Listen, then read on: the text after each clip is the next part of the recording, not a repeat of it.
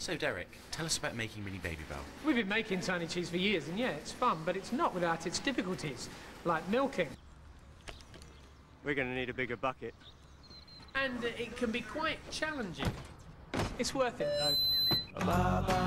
Mini Babybel. Real cheese, only small. Babybel. Upload a tune at babybel.co.uk and you could win a singing lesson with us. Do something funny for money this Red Nose Day.